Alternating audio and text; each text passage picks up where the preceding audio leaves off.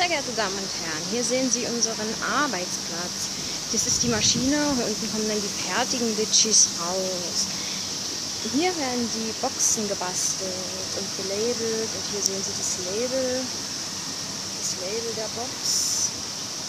Sehr interessant. So, des Weiteren sehen Sie hier unseren Arbeitsplatz. Ja, der zweite Tisch, der ist, ist der Tisch, wo ich heute zehn Stunden gestanden habe. Nein, Entschuldigung, elf Stunden.